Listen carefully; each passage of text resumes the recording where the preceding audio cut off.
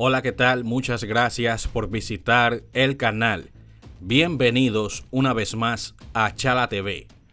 Bueno, señores, como todos ustedes saben, dos cadáveres fueron encontrados la tarde de este lunes enterrados en dos pozos sépticos con características similares a la de la pareja de esposos desaparecida hace dos semanas en el distrito municipal La Guayiga, municipio Pedro Brandt, provincia Santo Domingo. Mi teoría sobre este caso es que quienes hicieron esto son profesionales. Estos dos jóvenes se metieron con las personas equivocadas. Todo fue planificado. Primero los asesinos se meten en su casa. No hay señales de entrada forzada, lo que indica que tal vez se trata de personas conocidas por ellos. Lo segundo es que no se llevaron el dinero y se llevaron dos televisores para posiblemente aparentar un robo. Porque de ser un robo, ¿por qué dejaron el dinero? Por eso me inclino más hacia un ajuste de cuentas. Según las cámaras de seguridad de los alrededores, fue Luis Miguel Jaques Rodríguez quien llegó acompañado de unos tipos hasta el momento no identificados, quienes esperaron hasta la madrugada para raptar a la pareja, montarlos en el vehículo rentado marca Hyundai Tucson color gris donde salieron con destino hacia el barrio La Unión del municipio Los Alcarrizos.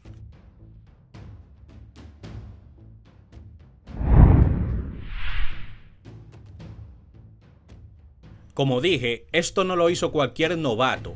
Esto parece que fue llevado a cabo por un capo, a quienes posiblemente la pareja estafaron.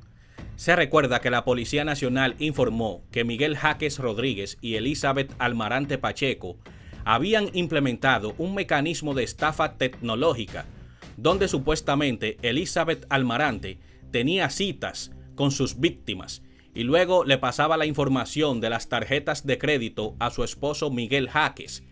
Es muy posible que en esas citas se hayan topado con la persona equivocada, porque ese modus operandi de alquilar el vehículo, de sacar los televisores para que parezca un robo, porque si hubiese sido un robo, vuelvo y repito, se llevan el dinero. Y otra cosa es que al momento de encontrar los cadáveres, la pareja no llevaba puestas sus ropas, lo que podría indicar que se deshicieron de ellas por si tenían alguna huella. Además, Luis Miguel Jaques Rodríguez tiene dos fichas en la policía por varios delitos y también tenía un impedimento de salida del país. Si esto se trata de un ajuste de cuentas, tuvo que ser algo muy grande lo que hizo esta pareja para que la persona o las personas que están detrás de estas muertes tomaran esta decisión tan drástica y lamentable.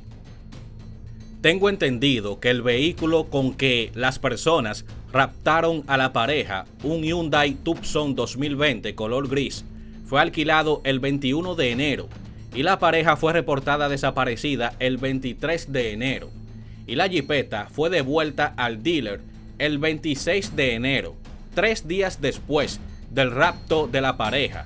Es muy posible que dentro de esos tres días la pareja fue asesinada o posiblemente el mismo día del rapto.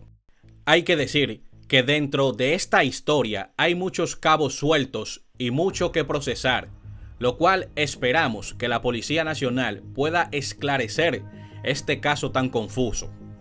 Bueno, y una fuente vinculada a la investigación dijo a Diario Libre que las posibilidades de que sean Luis Miguel Jaques Rodríguez y Elizabeth Almarante los cuerpos encontrados son de un 100%, debido a que el GPS del vehículo hallado por la policía, en el cual fueron transportados cuando abandonaron su casa, hace dos semanas, señala que estuvo por mucho tiempo en ese lugar.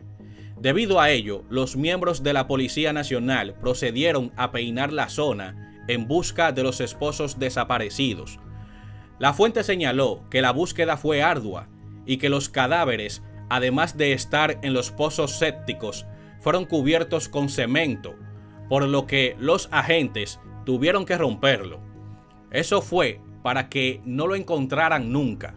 Yo pienso que detrás de estas muertes hay alguien grande, un capo o un narco, quién sabe. Pero hay que esperar la información oficial por parte de la Policía Nacional. ¿Y tú qué piensas? Recuerda que como siempre, puedes dejar tu valiosa opinión en la caja de los comentarios. De mi parte, nos vemos hasta un próximo video. ¡Ay, abusadores! Él tenía hijos, ellos lo vieron. Ellos lo vieron. Ellos vieron a mis hijos. ¡Abusadores! No tuvieron corazón. No tuvieron corazón. ¡Ay!